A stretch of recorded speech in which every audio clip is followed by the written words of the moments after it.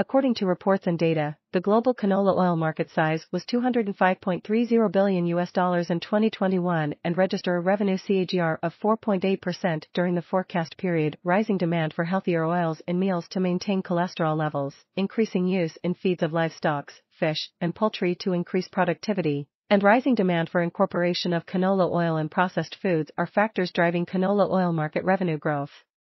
Development and innovation in advanced technologies is also supporting market revenue growth.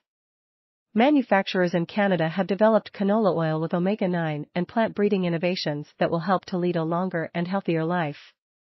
It also helps to reduce consumption of bad fats, which in turn lowers risk of heart disease. Thank you for watching.